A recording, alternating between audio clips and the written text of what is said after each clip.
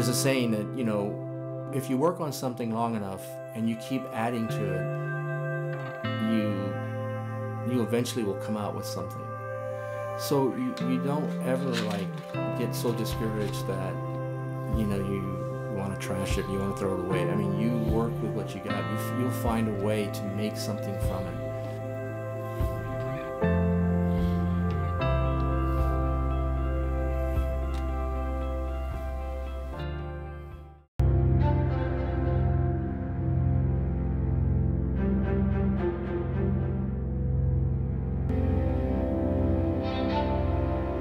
Works that I do require brushes that are very soft because I work with a I, I work kind of wet and which means that I use a lot of water in my work so I need brushes that are very very supple very easy to to wash paint with um, as opposed to a, a, a thicker brush that you'd use for oils. I work pretty much with the same colors all the time. I work with a teal, I work with a with an ochre yellow, I work with blue, red, um, greens, I mix colors. Sometimes if I want to create kind of a almost like a, a, a more organic kind of painting where I have I have sky and I have earth, you know. So top of my paper is going to be blues and whites and and oranges, you know, to kind of mimic sun and sunlight and light. And the bottoms are going to be more, you know, greens and blacks and, and browns. Um, and that, I mean, that, it works for me, you know, it's, and so, but it doesn't always end up that way. If I'm working on a, you know, more realistic piece, um, then, you know, all you're doing is you're taking, you're trying to recreate the image as close as you can from, from the photograph or, or from whatever you're working on.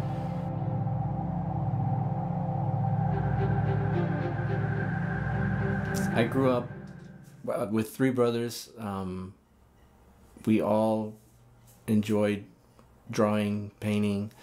Uh, we had a studio when we were chil- you know, children. My dad built a studio for us so that we could do our artwork.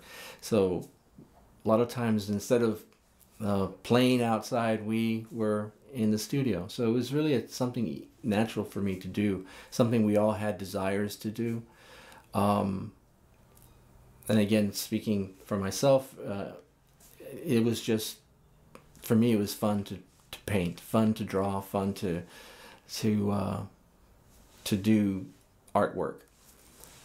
Um, but I mean, I also had other interests. I mean, it wasn't all art. I mean, I, I I'm a musician. I learned to play guitar at a very young age. I played in bands, and uh, I've traveled you know, a lot with with the guitar, so I was able to to play in front of big audiences.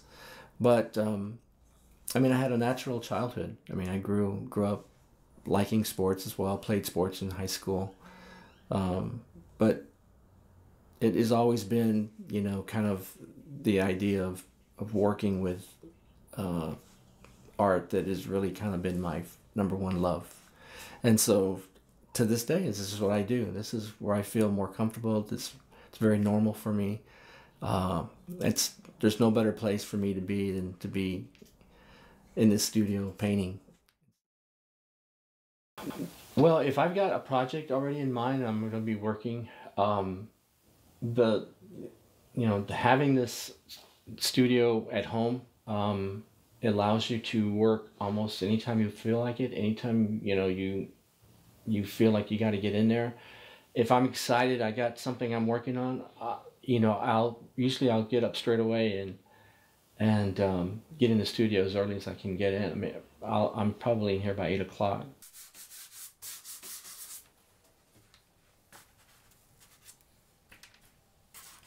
Some pieces can take months to, to do, and so, you know, it's almost like, you know, it's almost like if you're working, you know, at a job somewhere, you know, you you have to prioritize your day, and so you're, you know, it can be, you know, spend half the day working on it. Um, you you know, break take a break, get back to it. A lot of times you, you have to walk away from it. You can't stay with it all the time. You you do get tired, especially if you're working in a large piece. So you have to sometimes walk away and go outside. But I'll work, you know, eight hours, sometimes 14 hours on a, on a piece. And I've even walk, uh, worked overnight. I'll come in here in the middle of the night if I if I feel like I need to get in here. I've got, you know, this. If I have a deadline, or if I just have a a, a desire to go in there and, and continue working. So sometimes you're so excited about the work that you, you know, you never leave it. it you know, you you sleep thinking about it. You you can't wait to wake up so that you can start working on it again. Now I have um, I have an exhibit in at the uh, Centro de Artes, Texas A&M's San Antonio Centro de Artes downtown at the Mercado. Um, I'm showing with another artist, um, Carolina Flores. The, the name of the exhibit is it's called uh, Nuestra Gente, and so it's a concept I had a long time ago that I that I approached another artist with to, to see if they were interested in doing it. But basically, what it is is it is a uh, an exhibit of art, of portrait art. For me, it's portrait art of the people of San Antonio. So it it what I did was I, you know, went downtown just to see the people that live there, work there, tra travel through, um, people riding the bus, people going to work. I mean, I just I felt like they needed to be, they needed to have a, a, a portrait done of them so they can be placed somewhere, because to me they're very significant.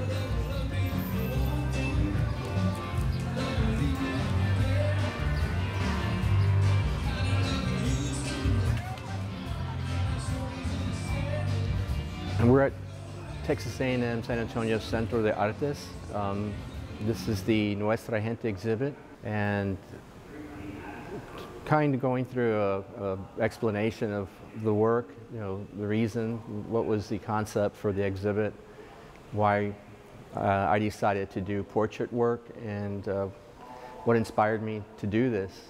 This, these two pieces here, uh, they're one and the same. One, uh, I, this is a, a portrait of a woman, woman, waiting for a bus. And um, I, I, started off doing the smaller piece here.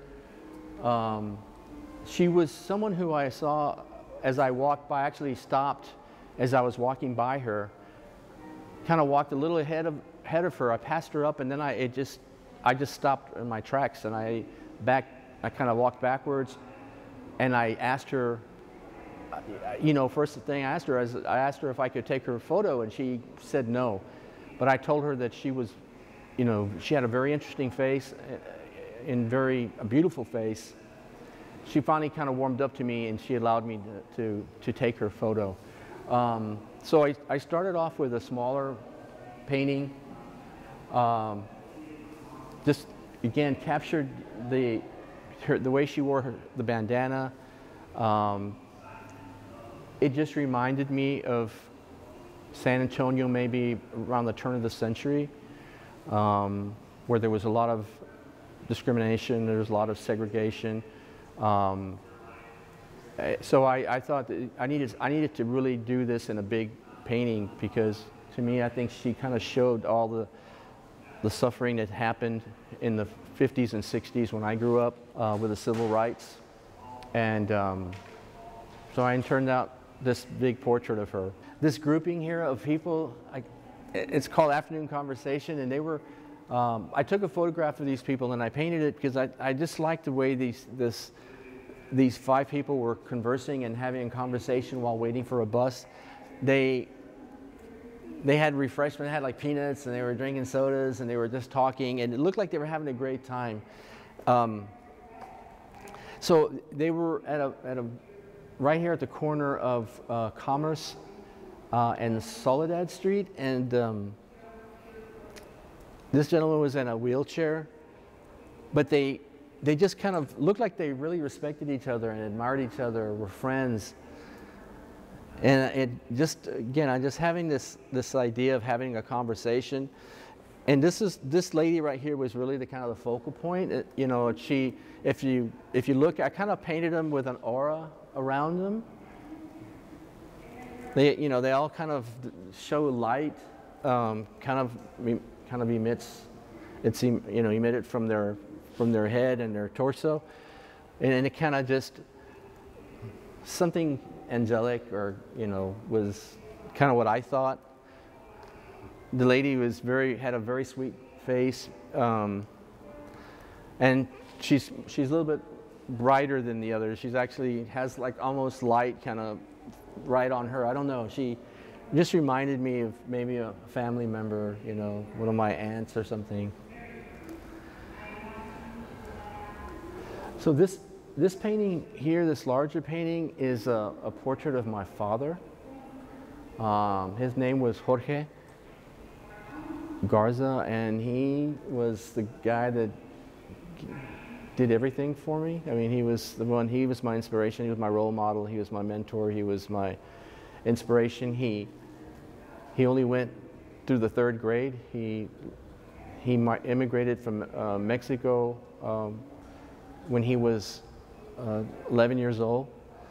Um, although he was born here, he, his parents were, my grandparents were here working and then went back to Mexico. My, my, dad just happened to be born in San Antonio, but he grew up in Monterrey, Mexico.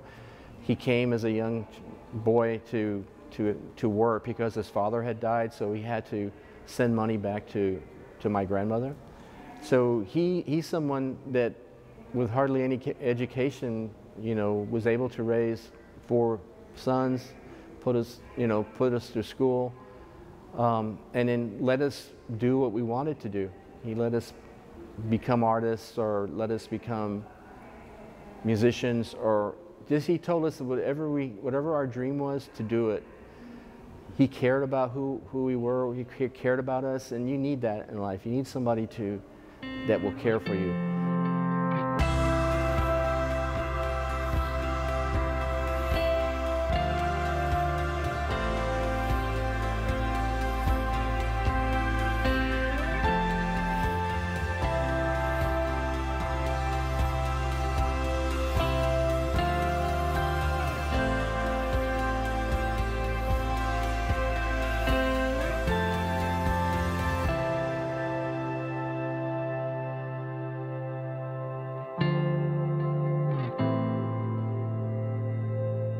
So my name is Mario Garza and I'm a visual artist living in San Antonio, Texas.